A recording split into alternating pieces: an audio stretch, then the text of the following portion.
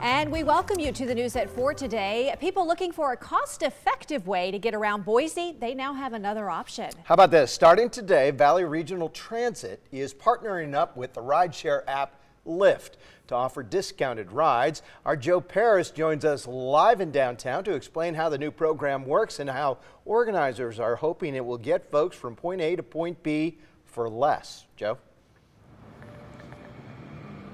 Well, Mark, I'm actually at the bus stop here off of Fairview and Curtis in Boise, and this is a spot where uh, Lyft and Valley Regional Transit is hoping more people will travel to soon. The uh, it's, it's, a simple program they're running. Their idea is they want more people using the buses than taking their cars into downtown, and they realize to do that, they're going to try to sweeten up the deal by giving cheap rides from the ride-sharing app Lyft to the bus stop. It's simple through a special code, which we'll give you here in a minute. You plug it in, and you can get a two $2 ride within the Boise coverage area to the bus stop. Then you jump on the bus and you ride to where you need to go to. But you can also get that $2 ride home from the bus stop. So it's in a limited area right now. We'll show you this map. This is the Boise coverage zone, and there's 14 stops inside of this pink area where you can use this special deal. Now, the stops you can go to, these are the 14, and actually there's a special Lyft sign that is now attached to the bus stop sign. So you'll start seeing these across the Boise area.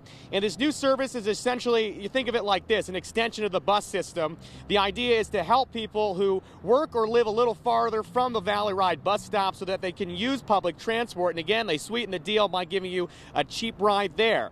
Now, Valley Regional Transit tells me they know that there is a growing want for more public transport options. So this is a start to help meet that need.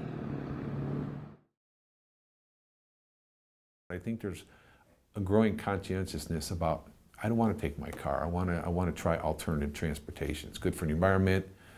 It's good for my pocketbook. And so that's what we're trying to tap into, that sort of interest. So I'm going to show you how we did it here today. This is my cell phone. You click on the Lyft app or download it if you already don't have it. It's a free app you can download, and there from there it's simple. You put in the promo code VRT19. You'll put it in the promo section on the left side of the app. From there you can request a ride to one of the bus stops or your ride home. You'll have to be within the designated service area as we talked about to receive your $2 fare and Valley Regional Transit will actually pay $6 up to $6 for the rest. So it shouldn't cost more than $8, that 2 plus $6, but for some reason it does, you would be on the hook for another dollar or two. Uh, this is available 6 a.m. to 9 p.m. Monday through Friday. It's also available on Saturdays from 7.30 in the morning till 6 p.m. There's no bus service on Sunday, so on Sunday they're not running the program. Right now, this is just a pilot program. It's being paid in part by a $100,000 grant from the federal government. The city of Boise, they matched that grant, so there's $200,000 into the program to start.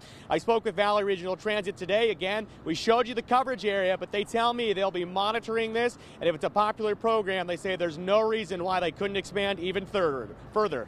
Mark? So they believe it's sustainable then? Even past the $100,000? They do. They think this is a good idea. Okay. Yeah, making essentially the bus routes more accessible to sure. people. Yeah. Sure. All right, I mean, you know, you think about it, how far a bus stop is from, say, sure. your house. Right. And you're like, I can't take the bus because I have to walk six blocks. That's right. Well, now you don't. Yeah. All right. Good information to have.